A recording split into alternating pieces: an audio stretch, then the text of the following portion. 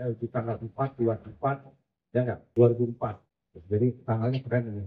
Semoga harapannya adalah cita-citanya adalah menembus batas, menembus batas.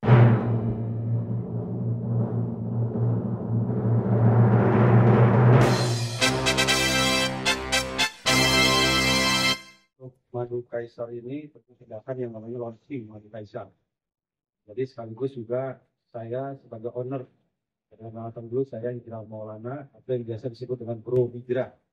Saya adalah uh, saya adalah owner daripada PT yang berlaku di Indonesia, PT juga Rumah Osok, PT Koperasi Multimedia, dan juga PT Masa Sakti Multimedia.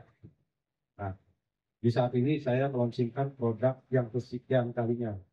Saya terima kasih juga ini undang-undang media sudah pada. Madu Kaisar adalah merupakan uh, produk untuk stamina laki-laki pria. Jadi memang misalnya ini dikeluarkan di momen bulan puasa ini. Tadi juga sudah disampaikan oleh ibu saya dengan saya di tanggal 4, 24, ya enggak, 2004. Jadi tanggalnya keren ini. Semoga harapannya adalah cita-citanya adalah menembus batas. Menembus batas itu artinya menembus mendobrak semua pasaran yang ada di Indonesia. Jadi sebelum ini saya juga pernah launching atau pernah produk kemarin itu ada madu hijau itu luar biasa. Dan itu fenomenal sekali dan sampai ke mancanegara. Itu ratusan ribu sampai hampir jutaan itu terjual jutaan botol. Dan itu memang bukan temuan dan itu hak ciptanya, hak patennya itu yang menemukan saya lakukan. Nah demikian juga untuk madu kaisar. Madu kaisar ini juga saya rakit. Ini saya empat tahun. Jadi istilahnya ini semuanya saya merakit dan juga saya menganalisis dan juga saya mengadakan penelitian empat tahun.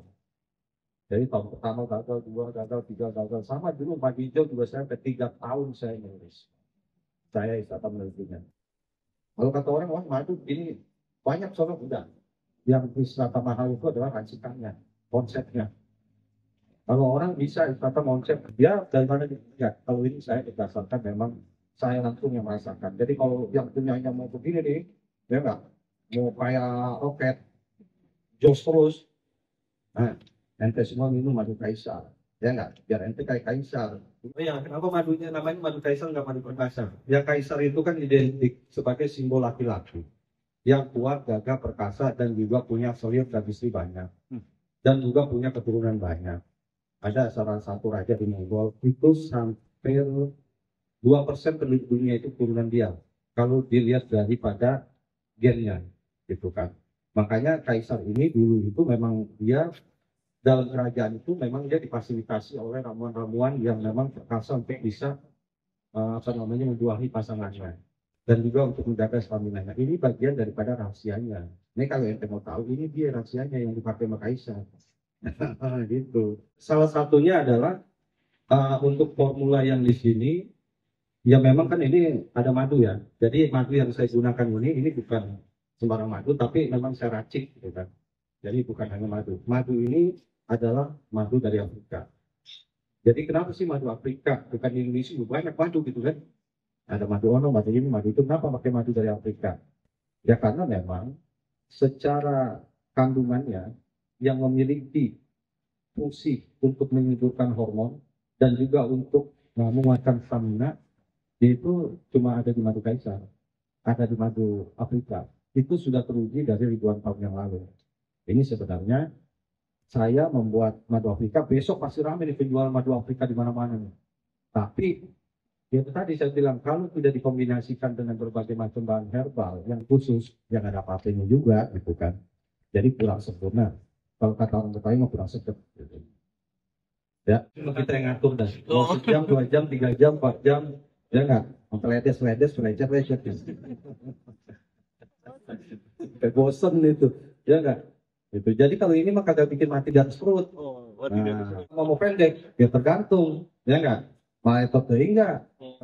Efek sampingnya ini luar biasa. Ini ada efek sampingnya yaitu meningkatnya stamina. Ya enggak? Lebih daripada empat kali lipat. Makanya, kenapa demikian? Antara yang minum sama yang enggak beda. Karena kandungan madu kaisar ini, dia ada nutrisi yang untuk menyuburkan hormon dan meningkatkan libido dan juga stamina. Jadi kalau kagak ada peningkatan itu, kita normal-normal aja, apalagi kalau umur-umur kita udah di atas 50 udah tuh. Jadi enggak? Yang ada belum main aja, udah ketiak duluan gitu kan. Jadi enggak? Belum apa-apa, bini kita baru ngajakin, eh singkong dekat dari dulu. Ya enggak? Sampai kita sentil-sentil, ya enggak bang Sabah? Ini eh, riset juga gitu kan, juga ada produk eh, dari apa namanya spesialis saya dan Bu Yana, beliau juga seorang psikolog, ya, beliau juga seorang dari kesehatan. Beliau juga menggali data-data semua dan juga saya juga tentunya menggali data. Jadi hampir 40 persen orang laki-laki meninggal di atas 50 tahun itu matinya karena apa? Karena jantung. Ya emang sih penurunan, emang kalau udah umur 50 turun drastis kan stopoma dan lain-lainnya. Dia itu kagak terima tuh. Akhirnya apa dia cari obat-obat untuk menunjang stamina. Nah kebanyakan salah. Makanya dia minum obat-obat itu. Makanya kalau kita maaf-maaf nih ya, kalau kita di warung jamu itu kalau habis sisa kita lihat dia nggak dari ujung ke ujung isinya siapa, bapak-bapak